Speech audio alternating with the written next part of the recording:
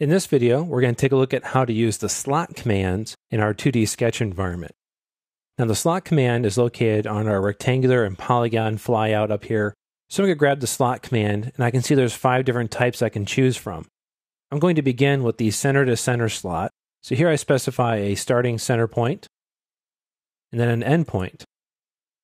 So basically it builds it from the two center points of those curvatures to create that slot shape. The next one I'll do will be an overall slot. Here I choose a starting point, an end point, so far very similar, and then specify the overall. We also have a center point slot. Here I'll start at the origin of the file, go over here to the right a little bit, choose again, and there you can see it's coming from the center point to help me define my sizing. The other two involve using arc type slots. So here is a three point arc slot. I'll start that one.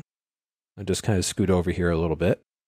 I'll pick the start of my arc slot, then the end of my arc slot, and then somewhere along the arc slot, and then the sizing here for the last input.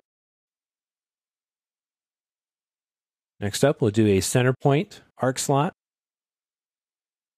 Here I'll choose a center point down here starting point, ending point, and then the sizing of the slot as well.